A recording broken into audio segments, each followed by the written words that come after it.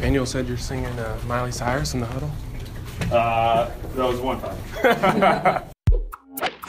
BSN Denver. Sport. The rosters are set, the mentality has changed, and there's simply a different feel at the UC Health Training Center. It's Denver Broncos game week. As just about everybody in America knows, the Carolina Panthers are heading into town on Thursday to kick off the NFL season, a rematch of Super Bowl 50. But while the nation harps on that rematch angle, the Broncos are trying to deflect it. The common theme around here right now is new team, new season, new game. No matter what happens on Thursday night, the Carolina Panthers can never have the 2015 Lombardi Trophy, and that trophy won't afford the Broncos any handicap. Another common theme around the facilities this week confidence surrounding quarterback Trevor Siemian. On Sunday, Gary Kubiak highlighted his ability to process a lot of information quickly, and CJ Anderson praised his presence. On Monday, Emmanuel Sanders commended his competitive nature, and that list goes on.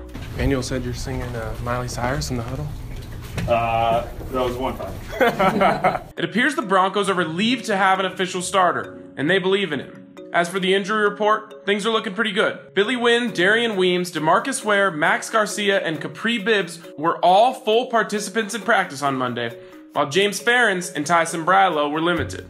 The only two players who didn't participate were Benny Fowler, who's dealing with an elbow injury, and Jeff Heuerman, who's ailing his ankle. Their status for the game is still uncertain. Make sure to check bsndenver.com daily as we lead you up to Thursday's opener.